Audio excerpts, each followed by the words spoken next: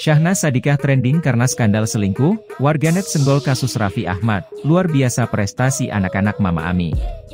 Rumah tangga Syahnas Sadikah dan JJ Govinda tengah menjadi topik perbincangan warganet karena ketahuan selingkuh dengan suami Lady Veronica, Randy Jarnet. Perselingkuhan yang dilakukan Syahnas Sadikah kemudian dikaitkan dengan Raffi Ahmad yang merupakan sang kakak. Tak sedikit warganet yang menyenggol masa lalu Raffi Ahmad yang juga sempat diisukan terlibat skandal dengan Mimi Bayuh dan Ayu Ting Ting. Publik lantas menyoroti sikap anak-anak Amika Nita, yang memiliki tiga orang anak yaitu Nisha Ahmad, Raffi Ahmad, dan Syahnas Sadikah.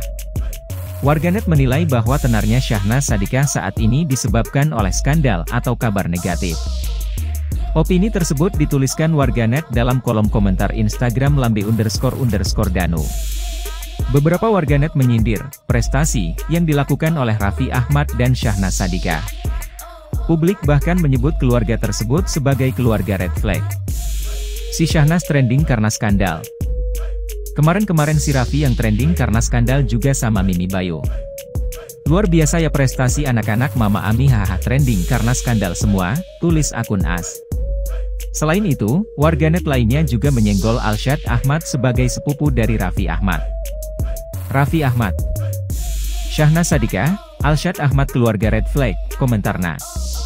Nagita Slavina, JJ Govinda, Tiara Andini, sama Lady Veronica udah bisa bikin grup wani, korban-korban, Teh Ahmad, hahaha, tambah HZZ.